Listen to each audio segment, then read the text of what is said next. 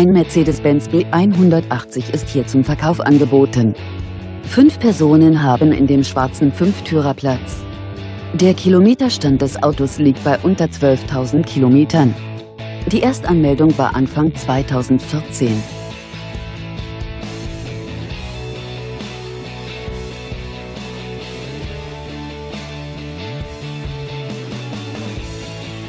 Der Kombi verfügt über zahlreiche Ausstattungsdetails wie ESP, Isofix, Kindersitzbefestigung, Navigationssystem, Einparkhilfe, Bluetooth und vieles mehr.